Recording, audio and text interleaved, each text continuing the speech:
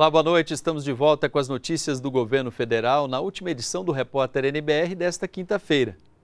O presidente Michel Temer assinou uma medida provisória que disciplina os processos de prorrogação e relicitação de contratos nos setores rodoviário, ferroviário e aeroportuário.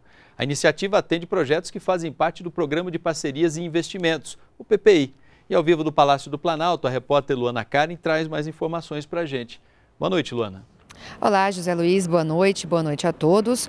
O objetivo da medida provisória é retomar a credibilidade do país no cumprimento de contratos, dar segurança jurídica aos servidores públicos, aos gestores públicos e criar condições para os investimentos em infraestrutura. A MP das concessões estabelece que as obrigações contratuais assumidas na licitação devem ser cumpridas e que os lances vencedores devem ser honrados. Também determina que apenas os contratos com alto nível de cumprimento de indicadores podem ser renovados. Os concessionários que não conseguirem cumprir os contratos poderão devolvê-los à União, que então fará uma nova licitação. A medida provisória também fornece os parâmetros para a renovação e retomada de concessões, dando mais segurança jurídica aos gestores públicos perante os órgãos de controle. Essa medida provisória das concessões deve ser publicada no Diário Oficial da União desta sexta-feira.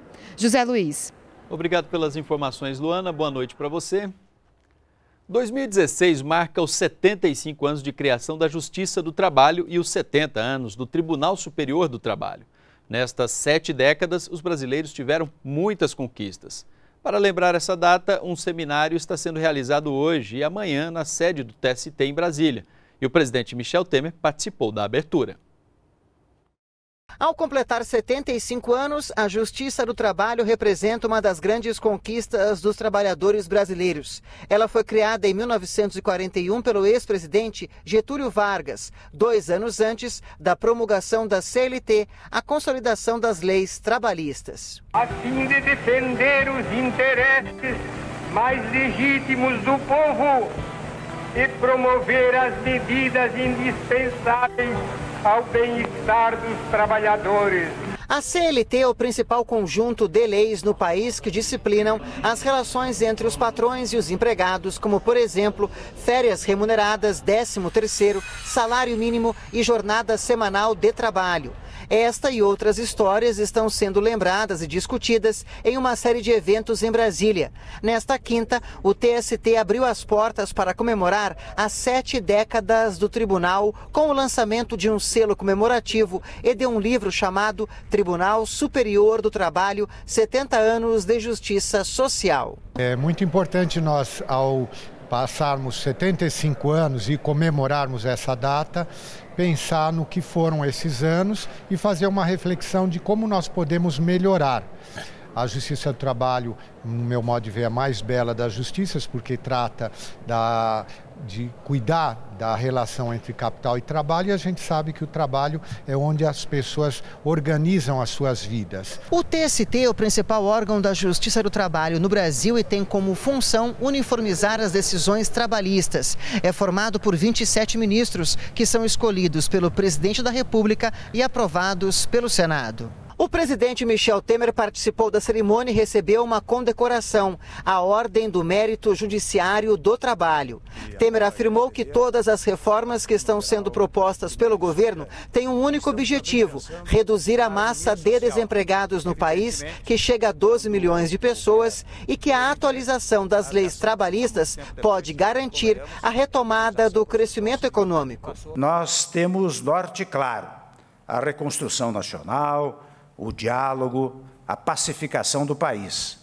Em meio às corajosas reformas que, com o apoio do Congresso, estamos levando adiante, perseguimos meta fundamental, que se resume, na verdade, a uma palavra: emprego. Mas para criar empregos, para gerar prosperidade, para que as famílias possam sentir-se amparadas em seu desejo de uma vida melhor, é que estamos empenhados na construção deste país renovado. O Conselho Monetário Nacional liberou nesta quinta-feira a contratação de novos empréstimos por estados participantes do programa de ajuste fiscal.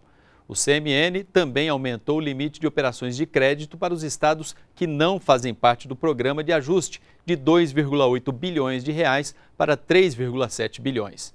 Segundo o Conselho, a reabertura para novos empréstimos é compatível com o limite de cálculo pelo Tesouro Nacional para o ano que vem, aliás, para o ano, que é de 20 bilhões de reais. A decisão do Conselho Monetário Nacional é para ajudar os estados a pagar compromissos assumidos em contratos. O próximo domingo, 27 de novembro, é o Dia Nacional de Combate ao Câncer e hoje o Ministério da Saúde e o Instituto Nacional do Câncer, o INCA, do Rio de Janeiro, divulgaram dados sobre a doença. O câncer é a doença que mais mata crianças e adolescentes no Brasil e como os sintomas podem ser confundidos com outras enfermidades comuns na infância, o diagnóstico precoce é essencial para aumentar as chances de cura. Quando começaram a aparecer manchas no corpo do Pedro Lucas, de 7 anos, a mãe dele ficou preocupada. Juliana levou o filho a um hospital em Macaé, no Rio de Janeiro, onde mora, e o diagnóstico foi leucemia, ou seja, câncer na medula óssea. O tratamento já dura oito meses e a criança deve passar por um transplante de medula em breve. Oito meses de tratamento já, assim, tá quase no final, só que assim, ele tem indicação para transplante, né? Só que ele já conseguiu doador, é, aí só está esperando chamar mesmo. O câncer é a doença que mais mata crianças e adolescentes no Brasil e a segunda causa de óbito nesse grupo, atrás apenas de acidentes e mortes violentas. Só no ano que vem, a estimativa do Instituto Nacional do Câncer é de 12.600 novos casos na faixa etária de 0 a 19 anos. E como os primeiros sintomas podem ser confundidos com outras doenças comuns na infância, o diagnóstico precoce pode ser decisivo para aumentar as chances de cura. Um estudo divulgado nesta quinta-feira pelo INCA e o Ministério da Saúde, no Rio de Janeiro, faz um panorama sobre os casos de câncer infanto-juvenil no Brasil. Pela primeira vez, é possível estimar a taxa de cura para o câncer em crianças e adolescentes no país. Na faixa etária de 0 a 19 anos, a taxa de sobrevida é de 64%. Os índices são mais elevados nas regiões Sul e Sudeste do que no Centro-Oeste, Nordeste e Norte. Os dados mais recentes indicam que em 2014 foram 2.724 mortes por câncer infanto-juvenil no Brasil.